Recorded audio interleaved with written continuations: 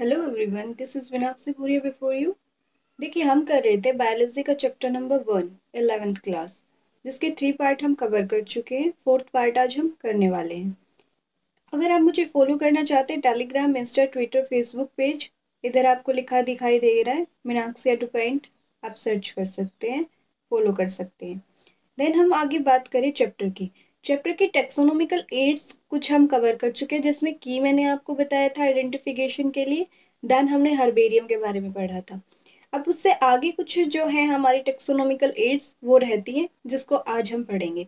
देखिए, आगे जो है, ये आता है अपना बोटेनिकल गार्डन बोटेनिकल गार्डन मतलब प्लांट से ये इसमें क्या होता है? काफ़ी बड़ा एरिया होता है लार्ज एरिया होता है, जिसमें कि डिफरेंट प्लांट की स्पीसीज ग्रो की जाती है। किस पर्पज़ के लिए? एजुकेशन के लिए एंड साइंस के पर्पज़ के लिए रिसर्च के लिए, या फिर उनके बारे में डिटेल जानने के लिए, ठीक है? इन सब के लिए बोटेनिकल गार्डन होते हैं। जो फ़र्स्ट रियल बोटेनिकल गार्डन था, वो थियोफेरेस्टस जो साइंटिस्ट थे, उन्होंने बनाया था, ठीक है? उन्होंने डेवलप किया था।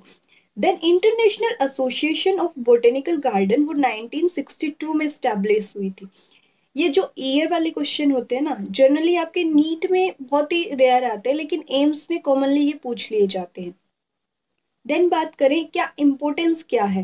देखिए, ये रेयर और एंडेंजर्ड जो प्लांट की स्पीसीज है, उनके लिए होता है। जैसे रेयर क्या होता है, जिनके अमाउंट नियर टू एक्सटिंक्ट है, जिनके नंबर एक्सटिंक्ट होने वाले हैं, वो रेयर में आती है एंडेंजर्ड कंपैरेटिवली उनसे थोड़े ज़्यादा होते हैं। ठीक है, इन स्पीसीज को ग्रो किया जाता है ताकि ये एक्सटिंक्ट ना हो, इनका नंबर इंक्रीज किया जा सके। ठीक है, जो लोकल एरिया के जो भी फ्लोरा फ्लोरा मतलब फ्लावर से याद रखना फ्लोरा मतलब प्लांट्स जो लोकल एरिया के प्लांट्स होते हैं, उनको क्या किया जाता है, वहाँ पे रिकॉर्ड करके रखा जाता है, जितने भी प्लांट होते वहाँ पे ग्रो किए जाते हैं ताकि उनके बारे में स्टडी की जा सके और पता चल सके इस लोकेलिटी में। देखिए, एक एक चीज़ सोचिए, अगर कोई भी प्लांट ग्रो करता है, उसको अपना suitable environment temperature soil rainfall मतलब एक प्रॉपर चाहिए होती है और वो हम आर्टिफिशियली इतना प्रोवाइड इतना एफिशिएंटली नहीं कर सकते। तो नेचुरल एनवायरनमेंट में ही हो पाता है। तो वहाँ के लोकल प्लांट जो होते हैं मोस्टली वहाँ पे वो मिलते हैं।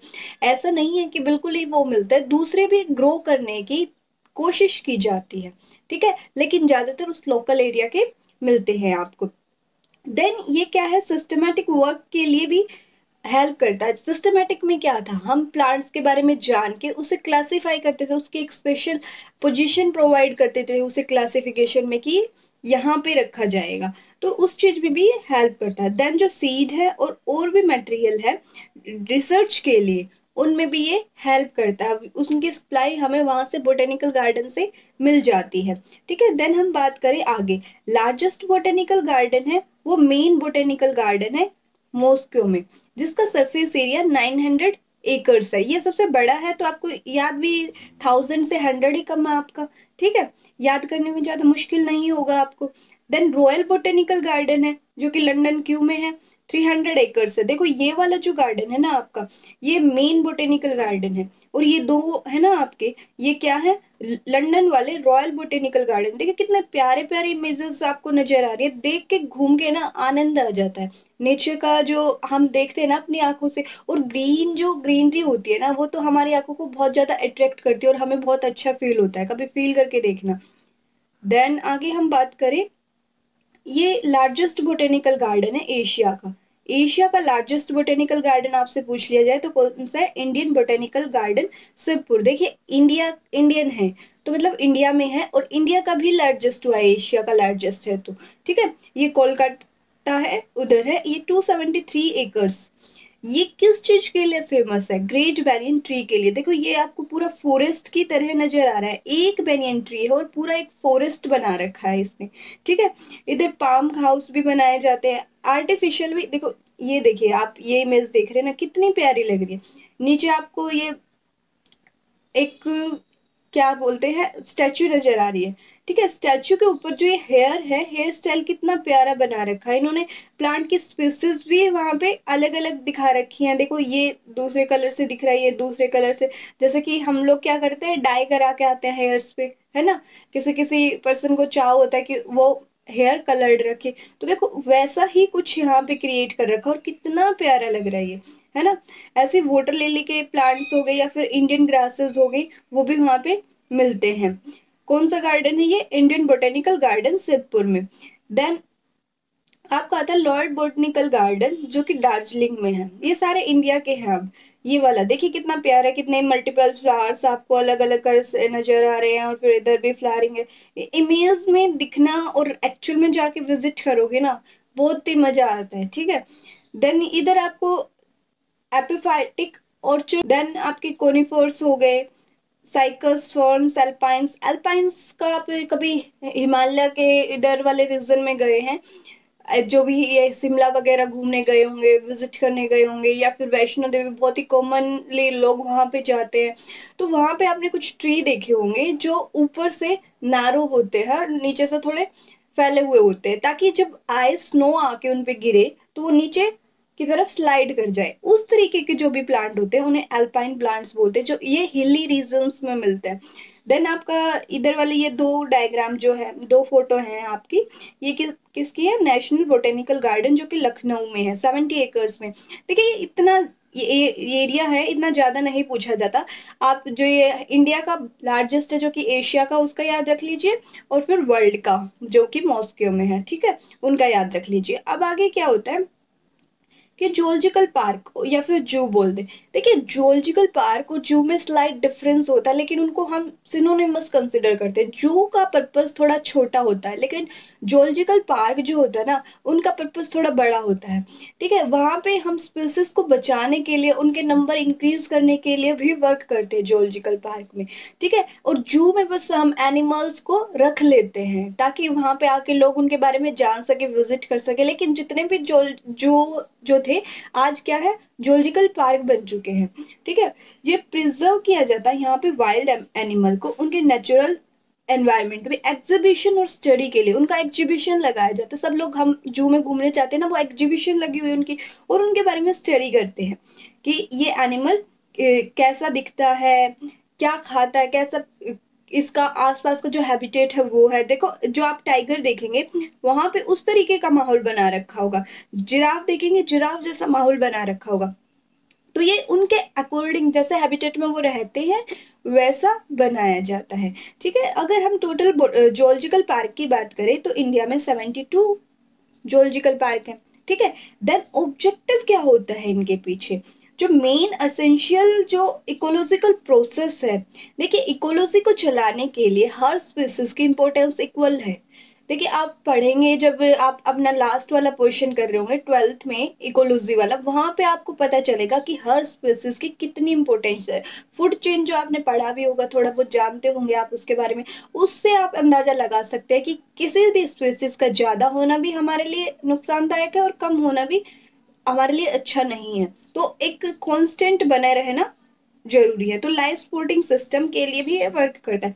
तो बायोडाइवर्सिटी है स्पीसीज की। बायोडाइवर्सिटी क्या है? डिफरेंट स्पीसीज की अवेलेबिलिटी बायोडाइवर्सिटी है। वो भी उसी को भी प्रिजर्व करता है ये। देन आता ब्रीडिंग ऑफ़ रेयर फोना देखो, एक तो हमने पढ़ा फ्लोरा जो फ्लावर का था। दूसरा क्या? फोना जो कि प्लांट्स का है। ठीक है? ये ब्रीडिंग कराए जाते हैं उनकी ताकि जो नंबर है, वो उनका कंटिन्यू रहे कि बहुत ज़्यादा रिड्यूस ना हो जाए या एंडेंजर्ड स्पीसीज में ना आ जाए वो या फिर रेयर स्पीसीज में ना आ जाए। ठीक है? इस तरीके से बनाया जाता है। देन आपका central botanical board of wild life central board of wild life ये कब बना? 1952 में बना। इसमें क्या किया जाता था? जित, जो सैंडल के रूल चलते थे, इसमें जितने भी वाइल्ड लाइफ है, उनको, उनके बारे में ध्यान दिया जाता था, कौन से एंडेंजर्ड है, कौन से रेड उसमें है, और उनको फिर इंक्रीज करने के लिए नंबर उन पर वर्क किया जाता था। Then Indian board of wild life आया। इसमें इंडिया जो है, उसके अपने ही रूल होते थे। उनको स्पेसिस को इंडिया की स्पेसिस को सबको कंसिडर करके देखा जाता था, कौन सी स्पेसिस कितने नंबर में है। ठीक है?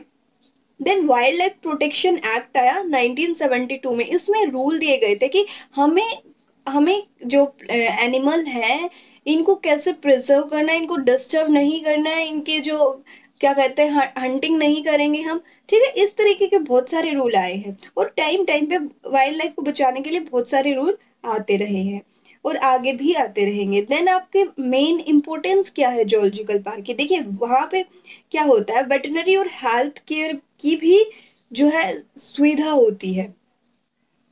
ठीक है? वहाँ पे जैसे वेटनरी क्या होता है? जो एनिमल्स का इलाज के लिए डॉक्टर होते हैं वे वेटरनरी डॉक्टर होते हैं ना तो उनको कोई भी किसी भी तरीके की हेल्थ से रिलेटेड इश्यू होते हैं वेटरनरी में वो ट्रीट कराए जाते हैं उनका। ठीक है?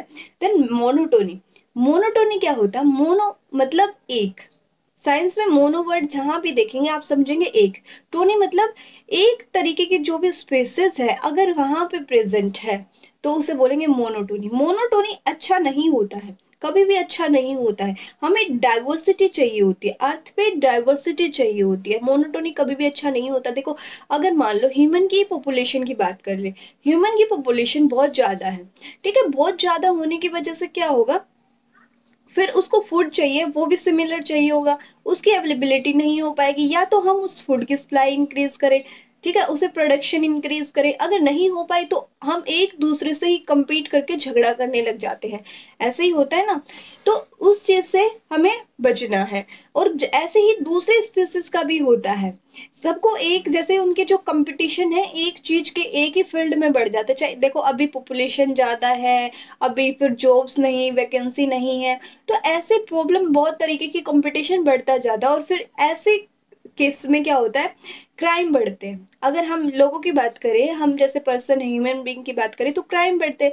और एनिमल्स की बात करें तो वो एक दूसरे को ही लड़ झगड़ के ये सोचते हैं कि इसको डाई कर दिया जाए। तो उसमें एकदम इकोलॉजिकल अनबैलेंस हो जाता है। तो वो बहुत ज़्यादा इंपॉर्टेंट है। मोनोटोनी होना हमारे लिए नुकसानदायक है। देन आता है लैंडस्केप वर्क लैंडस्केप वर्क में क्या होता है? जैसे कि मान लो ग्रास है, जिस भी एरिया में कोई भी एनिमल रह रहा है, वहाँ पे ग्रास होती है। कुछ टाइम के बाद वो बड़े बड़े हो जाते हैं। उसको रेगुलर बेसिस पे काटते रहना, उनको मेंटेन रखना, वो लैंडस्केप वर्क में आता है आपका। Then hoarding in sign position देखो, इधर ये आपको दिखाई दे रहा है साइन पोजिशन ये इधर इन्होंने लगा रखे हैं। माउथ की जो पोर्शन है, वो वाला लगा रखा कि जैसे ये एलिफेंट का है है ना, ये मंकी का है, इस तरीके से लगा रखे है, ये व्हाइट टाइगर का है। तो इनको देख के और इधर नाम भी लिखे हुए हैं, चाइनीज़ में भी लिखे हुए हैं इधर इंग्लिश में भी लिखे हुए हैं। इनसे पता चल जाएगा कि इधर साइन है इसका तो इधर वाली लोकेशन पे आपको ये एनिमल मिलेंगे। और ये साइन बोर्ड देख के हम उस लोकेशन पे जा सकते हैं, जिस एनिमल को हमें देखना है। ठीक है? देन इस तरीके के भी आपके होल्डिंग लगे होते हैं। जैसे ये आपको एक ह्यूमन बींग दिख रहा है, अभी आपको ऐसा नज़र आ रहा है जैसे कि ह्यूमन बींग अंदर है। लेकिन क्या है, ये एनिमल्स दिखा रखे हैं कि इनको ऐसे हमने रख रखा है, यहाँ पे आपके लिए सेफ्टी के लिए इन्होंने नेट भी लगा रखे हैं। अब फिर भी उसके बावजूद भी अगर आप उसको जाके पकड़ेंगे तो एनिमल क्या करेंगे? उन्हें भी तो डर लगता है ना कि कभी ये लोग हमें हार्म ना कर दे। इनके साथ छेड़खानी नहीं करनी चाहिए। इस तरीके के आपको जगह जगह बोर्ड लगे नज़र आएँगे। अगर आप ऐसा करते हैं तो वो सेल्फ डिफेंस में क्या करते हैं एनिमल आपको बाइट कर सकते हैं। तो हार्म होगा ना? तो इसलिए ये होल्डिंग्स लगे होते हैं। Then literature on the park animal जहाँ पे भी जाएँगे आप, वहाँ पे आपको एक साइंटिफिक नेम मिलता है। और वहाँ के लोकल एरिया का भी नाम मिलता है। किसी भी, जो भी स्पेसिस होगी, वहाँ पे उसका साइंटिफिक नेम मिलेगा, उसका लोकल एरिया का नेम मिलेगा और साथ में ये भी लिखा होता है, ये क्यों फ़ेमस है? क्या स्पेसिफिकेशन है इसकी? तो उसके बारे में काफ़ी कुछ डिटेल्स आप वहाँ से पढ़ सकते हैं, ठीक है?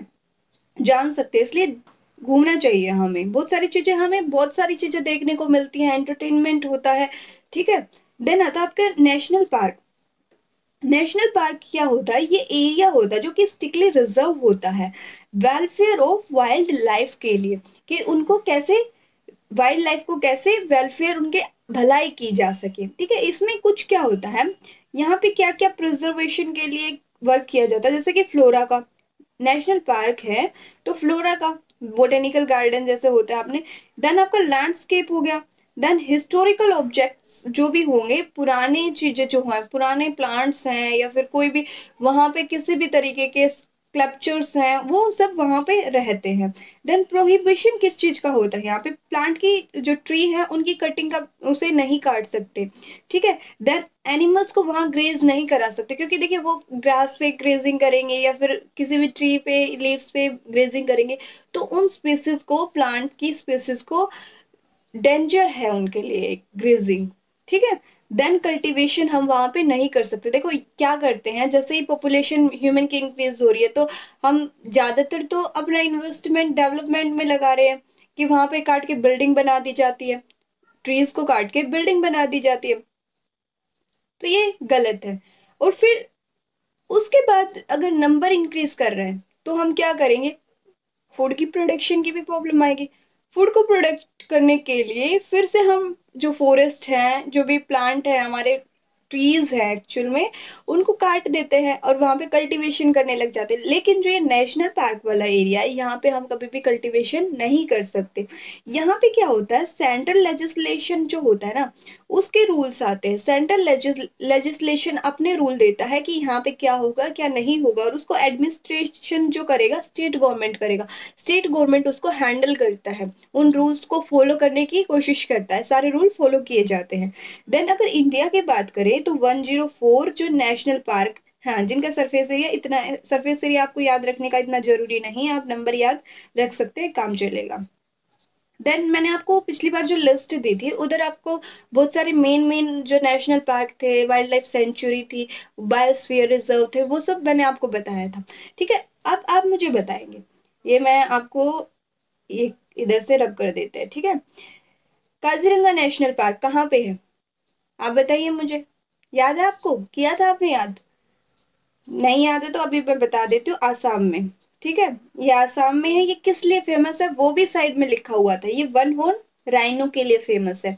देन आपका जिम कॉर्बेट ये भी मैंने आपको इम्पोर्टेंट बताया था, उत्तराखंड में है। ये किस लिए फ़ेमस है? ये फ़र्स्ट नेशनल पार्क है इंडिया का। इसलिए भी फ़ेमस है। देन आता है आपका रणथम्बोर देखिए, इधर आप ये देख रहे हैं, ये क्या इनके फ़ोटो क्लिक कर रहे हैं। कितनी मस्ती से घूम रहे हैं ना टाइगर टाइगर तो वैसे भी मस्ती से ही घूमते हैं, लेकिन यहाँ पे इनको फिर भी फियर है कि कभी ये इनको आके जो आक्रमण ना कर दे टाइगर इन पे, ठीक है?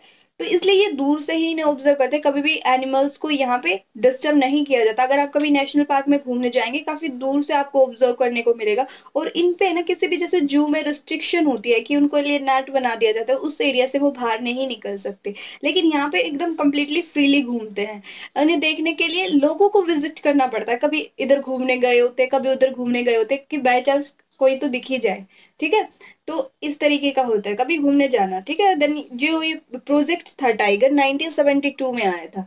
जो टाइगर प्रोजेक्ट था, ये 1973 में आया था सॉरी 73 में आया था। यहाँ पे पैंथर टिग्रिस टिग्रिस जो है बंगाल टाइगर का नेम होता है ये। उनको रिज़र्व किया जाता है, ठीक है? उनको बचाने के लिए स्टेप्स लिए जाते हैं। देन आपका आता है कान्हा नेशनल पार्क जो कि मध्य प्रदेश में है। The land of jungle book बोलते हैं इसे। देखिए, इस इस जो टाइगर को है ना, इसको भी इतनी समझ है कि हमें ट्री नहीं काटने चाहिए, नहीं काटने चाहिए। लेकिन ह्यूमन बींग को इतनी समझ बिल्कुल भी नहीं है। हम लोग क्या करते काटते ज़रूर है, लेकिन उसकी जगह कभी भी और लगाने का ट्राई नहीं करते, है ना? तो आप थोड़ा छोटी छोटी चीज़ों को ध्यान रखिए। देखिए, अभी जब आप, ये कोरोना वाली सिचुएशन है तो देख रहे हैं कि क्लाइमेट हमारा कितना क्लीन हो रहा है, ठीक है? कितना, आप देखेंगे जो हमारा स्काई है, कितना साफ़ नज़र आता है। सबको अच्छा लगता है लेकिन उसको साफ़ रखने के लिए कोई अफर्ट नहीं करना चाहता है। हमें पोल्यूशन करना, हमें व्हीकल पे घर से बाहर निकलना तो हमें पर्सनल व्हीकल चाहिए। एक पर्सन को भी जाना तो भी गाड़ी में जाना। हमें प्लांट ग्रो नहीं करने हैं। लेकिन देखना सबको अच्छा लगता है। डिफरेंट डिफरेंट तरीके के प्लांट अब फ्रूट के भी प्लांट है फ्रूट खाना सबको अच्छा लगता है, लेकिन ग्रो कोई नहीं करता है। है ना? कोई मेहनत ही नहीं करना चाहता है। तो इन चीज़ों पे थोड़ा थोड़ा आप अफर्ट कीजिए, ठीक है? आपका बर्थडे है, उस दिन आप एक प्लांट लगा दीजिए। मतलब कुछ तो नया कीजिए ना, ठीक है? देन आपका आता है नाना कांदन जोलॉजिकल पार्क है। ये कहाँ पे? आपका ओडिशा में है। देन इधर क्या है? ये किस लिए? इसका जो नाना कांदन का मतलब क्या होता है? द गार्डन ऑफ़ हेवन ठीक है? इनका निकनेम बोल सकते एक तरीके से, इसका मतलब है ये, ठीक है? ये आपके काफ़ी फ़ेमस जो थे, ये पार्क अब जैसे आपका 2019 की बात करें 2019 में जो एम्स का क्वेश्चन रहा है ये, आपको ये डिफरेंट डिफरेंट पार्क दे दिए गए हैं जोलॉजिकल पार्क है, इनको मैच करना था कि कौन सा किससे, जैसे अभी भी मैंने आपको डिस्कस कराया और लास्ट लेक्चर में भी मैंने आपको डिस्कस कराया था तो इसमें से आप मैच करेंगे कौन सा किससे मैच होता है? काजीरंगा है आपका, ये भी करा दिया जिम कॉर्बेट भी करा दिया रणथम्बोर भी करा दिया और नाना कानन ये भी वाला करा दिया, ठीक है? आप इनको मैच करके देखेंगे कि कौन सा ऑप्शन करेक्ट है, ठीक है? अब हम आगे चलते हैं। आगे चलते हैं तो आपका वाइल्ड लाइफ सेंचुरी आता है। वाइल्ड लाइफ सेंचुरी क्या होती है? ये एरिया रिज़र्व होता है वाइल्ड लाइफ एनिमल्स के लिए। एनिमल्स के लिए स्पेसिफिकली रिज़र्व किया जाता है, लेकिन जो वहाँ पे प्लांट की स्पीसीज है, वो भी रिज़र्व होती है उनके साथ। देखिए एनिमल्स को अगर उनके नेचुरल क्लाइमेट में रखा जा रहा है तो वहाँ पे प्लांट भी होता है। लेकिन ज़्यादा फोकस इधर कहाँ होता है? एनिमल्स पे होता है। यहाँ पे कुछ एक्टिविटी अलाउड होती है और कुछ एक्टिविटी अलाउड नहीं होती है। जैसे कि हार्वेस्टिंग है टिम्बर की, वो अलाउड होती है। तो देखिए हार्वेस्टिंग कर रहे हैं टिम्बर की तो आपको ज़ाहिर सी बात है पता चल रहा है कि हम प्लांट पे ज़्यादा फोकस नहीं कर रहे हैं। देन कलेक्शन ऑफ़ फोल्डर कर सकते हैं। फोल्डर क्या होता है? भूसा, जैसे ये लीफ की जो लीफ होती है, वो टूट जाती है शेड कट जाती है और नीचे बिखरी हुई होती है, वो फोल्डर में आ जाती है। ठीक है? ऐसे ही ड्राई जो भी ग्रासेस वगैरह होते हैं, वो भी फोल्डर हो जाता है।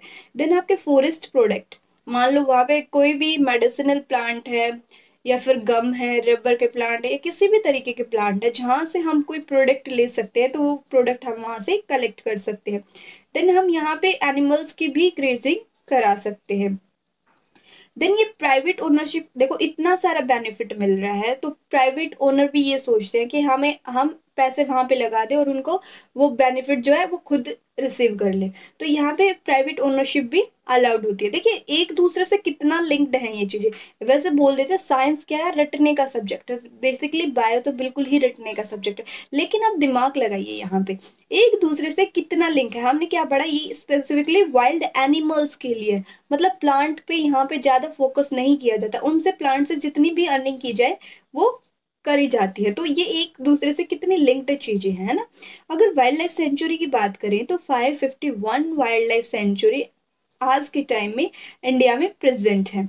ठीक है? अगर हम आगे चलते हैं तो फिर क्या देखते हैं? बायोस्फीयर रिज़र्व बायोस्फीयर रिज़र्व क्या होते हैं? ये स्पेसिफिक एरिया होता है, जो कि मल्टीपल यूज़ होते हैं, जिसके प्राइवेट लैंड परमिट जो लैंड है, वो परमिट की जाती है यहाँ पे। जैसे डिफरेंट जोन बना दी जाती है, जिसमें अलग अलग एक्टिविटी डिस्ट्रीब्यूट की जाती है कि इस जोन में ये एक्टिविटी कर सकते हैं और ये नहीं कर सकते। जैसे थ्री जोन है। थ्री जोन है जिसमें से एक है core zone then buffer zone आ गया। देन आपका मैनिपुलेटिव या फिर ट्रांजिशन जोन आ गया। ट्रांजिशन क्या होता है? एक से दूसरे में चेंज हो जाना, ऐसी सिचुएशन को बोलते हैं ट्रांजिशन ठीक है? इस वाले जो कोर जोन कोर एकदम अंदर वाला जैसे ये जोन है, ये जोन है और फिर ये जोन है। जो ये है आपकी कोर जोन है। अंदर वाली आपकी कोर जोन है देन आपकी बफर जोन है। बफर के बाद आपकी मैनिपुलेटिव बोले या फिर ट्रांजिशन जोन बोले। ठीक है? इसमें क्या होता है आपका? जो सेंट्रल वाली होती है, इसमें ह्यूमन एक्टिविटी अलाउ नहीं होती। लेकिन बफर वाली है, यहाँ पे लिमिटेड ह्यूमन एक्टिविटी अलाउड होती है। देन मैनिपुलेटिव वाली है। इसमें बहुत सारी ह्यूमन एक्टिविटी हो सकती है, जैसे कि ह्यूमन सेटलमेंट भी हो सकती है ग्रजिंग है एनिमल्स की, वो भी हो सकती है, हम कल्टिवेशन भी कर सकते हैं। ठीक है? तो ये सब होते हैं। इन जोन पे आप ध्यान रखेंगे कि सबसे अंदर वाली कोर जोन है। फिर बफर जोन है, फिर उसके बाहर आपकी मैनिपुलेटिव या फिर ट्रांजिशन जोन है। इसका रोल क्या होता है? वाइल्ड पॉपुलेशन को प्रिजर्व करने का रोल होता है यहाँ पे। ट्रांजिशन है लाइफ का ट्राइब्स जो होते हैं, बस्तियाँ, ठीक है? वो वहाँ पे लाइफस्टाइल उनका, उसको प्रिजर्व किया जाता है। देन आपका जेनेटिक वेरिएशन है प्लांट की और एनिमल की, उसको भी प्रिजर्व किया जाता है, ठीक है? उन पे भी ध्यान दिया जाता है। देन फ़र्स्ट बायोस्फीयर रिज़र्व है, वो नीलगिरी में। बायोस्फीयर रिज़र्व जो नीलगिरी में 1986 में, मैंने पिछली बार भी आपको बताया था नीलगिरी नीलगिरी बायोस्फीयर रिज़र्व है, वो इम्पोर्टेंट है। ये 1986 में बनाया गया था, ठीक है? देन आगे बात करें, ये क्वेश्चन आया हुआ है आपका नीट 2017 में। आपसे पूछा गया है लीगली प्रोटेक्टेड होता है और जिसमें ह्यूमन एक्टिविटी अलाउड नहीं होती, वो कौन सा जोन होता है? ट्रांजिशन बिल्कुल नहीं। यहाँ पे तो मल्टीपल ह्यूमन एक्टिविटी अलाउड होती है। देन हमने पढ़ा कोर जोन देन पढ़ा बफर जोन ठीक है कोर जोन में क्या होता? कोर जोन हमने अंदर वाला कौन सा था? कोर जोन देन आपका बफर जोन ऐसा ही था ना? देन आपका मैनिपुलेटिव या फिर ट्रांजिशन जोन इसमें कोई भी ह्यूमन एक्टिविटी अलाउड नहीं थी. इसमें कुछ कुछ ह्यूमन एक्टिविटी अलाउड थी और इसमें बहुत सारी ह्यूमन एक्टिविटी अलाउड थी. तो उसके बेसिस पे आप करेक्ट कर देंगे. ठीक है, अब हम आगे चलते हैं म्यूज़ियम म्यूज़ियम के बारे में आपने बहुत सारे म्यूज़ियम देखे भी होंगे, लेकिन हम साइंस म्यूज़ियम की बात कर रहे हैं, बोटनिकल म्यूज़ियम की बात कर रहे हैं, आपके जोलॉजिकल म्यूज़ियम की बात कर रहे हैं, ठीक है? तो इसमें क्या है?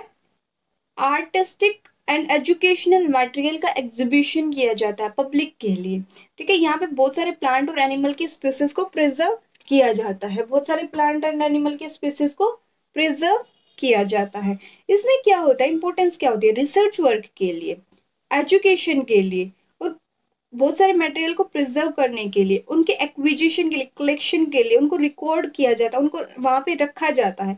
देन उन सब मटेरियल का एग्जीबिशन दिखाने के लिए, जैसे कि हम कहीं भी जाएँगे, आप दिल्ली में भी आपका म्यूज़ियम है, आप जहाँ भी रहते हैं, वहाँ पे आपको म्यूज़ियम मिल जाते हैं जनरली ठीक है, लेकिन प्लांट और एनिमल के जो है, आपको बहुत कम जगह पे मिलते हैं। मैंने आपको लास्ट टाइम लिस्ट भी म्यूज़ियम की नहीं दिखाई थी म्यूज़ियम की लिस्ट आज दिखाऊँगी मैं आपको। ठीक है, वहाँ पे बहुत ही बहुत ही सुंदर सुंदर एलसीडीज भी लगी होती है और सैंपल भी म्यूज़ियम में क्या होता है कि आर्टिफिशियल होता है वो। मतलब उनको जैसे डेथ होने के बाद ऑर्गेनिज्म की, उनको प्रिजर्व कर लिया जाता है, जैसे मैं दिखाती हूँ इधर। जैसे ये है आपकी। जैसे कि ये नेचुरल हिस्ट्री म्यूज़ियम है, जो कि आपका लंदन में है, ठीक है? यहाँ पे आपको ब्लू व्हेल है, इसकी जो स्केलेटन सिस्टम है, वो दिखा रखा है। देखने में देखिए कितना अच्छा लग रहा है, कितना काफ़ी बड़ा है, आप विज़िट वैसे कभी नहीं देख सकते, लेकिन म्यूज़ियम में तो देख के आ सकते हैं इनको, ठीक है? देन आपका ये इधर फ़ील्ड म्यूज़ियम है नेचुरल हिस्ट्री के लिए शिकागो में, यहाँ पे आपको डायनासोर के स्केलेटन है, वो दिखा रखा है। देन आपको United State of national museum है वाशिंगटन में। यहाँ पे आपको देखिए एलिफेंट एकदम नेचुरल जैसा होता है, वैसा ही नज़र आ रहा है। इसमें क्या होता है कि जो अंदर के जितने भी ऑर्गन होते हैं, वो एक्सट्रैक्ट कर लिए जाते हैं। सारा जो अंदर का मटेरियल है, वो एक्सट्रैक्ट कर लिया जाता है और इसको स्टफिंग की जाती है। और केमिकल से स्प्रे किया जाता है इनको, ताकि ये डैमेज ना हो। लॉन्ग टाइम इनको प्रिजर्व किया जा सके। देन ये दिल्ली की बात करें national museum of natural history ये भी इसी तरीके से इनको स्टफ़ किया जाता है। और देखिए, इधर ये मैप लगा रखा है। मैप में इनको कलर कर रखा कि इस इस रीजन में ये मिलते हैं। देन फॉरेस्ट म्यूज़ियम है, जो कि अंडमान एंड निकोबार आइलैंड में देखो, ये डेली वाला ना, इधर यहाँ पे आपको एलसीडी भी लगे नज़र आएँगे, जहाँ पे आपको डिफरेंट एनिमल के बारे में बताया जाता है। जैसे कि इसके पास है, उसके पास एलसीडी लगे होंगे। वहाँ पे उससे रिलेटेड बताया जाता कि ये कहाँ पे मिलते हैं, ये कैसे हैं। तो एकदम पूरी वीडियो चल रही होती है। यहाँ पे इन वाले म्यूज़ियम में भी ऐसा होता होगा। लेकिन मैं इधर विज़िट किया है तो आपको बता रही हूँ। यहाँ पे फॉरेस्ट म्यूज़ियम है, अंडमान एंड निकोबार। यहाँ पे क्या किया जाता है, बहुत सारा आर्टिफिशियल भी क्रिएट कर दिया जाता है, वैसा ही। ठीक है, और बहुत सारा नेचुरल भी होता है। यहाँ पे जैसे आप विज़िट अंदर करेंगे तो आप देखेंगे कि एलसीडी वगैरह लगे होते हैं। तो उसी प्रकार से उसके बारे में हर एक प्लांट और फॉरेस्ट वगैरह है, उनके बारे में डिस्क्रिप्शन दिया जाता है। उसे विज़िट करके आते लोग। काफ़ी इंफॉर्मेटिव होता है वहाँ पे विज़िट करना। ठीक है? काफ़ी अच्छा भी लगता है घूम के। देन आपके म्यूज़ियम है, ये कुछ एक और दो, एक दो म्यूज़ियम और है। ये जो वाला आपका म्यूज़ियम है, ये आपका है इंडियन म्यूज़ियम है, जो कि कोलकाता में। ठीक है? देन ये जोलॉजिकल म्यूज़ियम होगा आपका रॉक क्रिक म्यूज़ियम होगा और महाराजा स्वायमान ये भी काफ़ी इंपॉर्टेंट हो जाता है, ठीक है? प्रिंस वॉल्स म्यूज़ियम हो गया आपका बॉम्बे में जो। तो ये सब म्यूज़ियम आप पढ़ सकते हैं, ठीक है? आपके कभी कभार क्वेश्चन आ जाते हैं तो इनको आप थोड़ा ध्यान रखेंगे, ठीक है? और कभी हो सके तो घूम के आइएगा, ठीक है? आई होप आपको समझ आ गया होगा। आज आपका ये चैप्टर कंप्लीट हो गया। इसके बाद आप अपने क्वेश्चन एनसीईआरटी के भी क्वेश्चन लगा के देख देखिएगा और फिर जो आप राइट करके देखिए क्वेश्चन आप लिख पाते अच्छे से नहीं लिख पाते, क्योंकि देखिए कॉम्पिटिटिव के साथ साथ आपको जो आपकी होम क्लासेस है, उनमें भी मार्क्स लेना ज़रूरी हो जाता है, ठीक है? पेरेंट्स क्या करते हैं, उनको मार्क्स चाहिए होता है, ठीक है? और टीचर भी टीचर भी मोस्टली यही रहता है कि मार्क्स मार्क्स मार्क्स ठीक है मार्क्स भी इम्पोर्टेंस होती है उनकी, लेकिन हमें नॉलेज ज़्यादा होनी चाहिए। और जो भी कॉम्पिटिटिव एग्ज़ाम होता है ना, आपका नॉलेज से ही क्रैक होता है। आप चीज़ों को याद करके, रट के, लिख के, ये आप इधर जो स्कूल के एग्ज़ाम होते हैं बोर्ड के एग्ज़ाम होते हैं, वहाँ मार्क्स ले लेते हैं, लेकिन कॉम्पिटिटिव में आप फिर फेल कर जाते हैं। तो आप चीज़ों को पढ़ेंगे भी, अच्छे से लिखना भी सीखेंगे और कॉम्पिटिटिव के लिए अपनी जो नॉलेज है, वो भी एनहांस करेंगे। ठीक है? आई होप आपको समझ आ गया हो गया फिर भी कोई डाउट है तो आप ज़रूर कमेंट कीजिएगा। हम उस पर फोकस करेंगे। Thanks for watching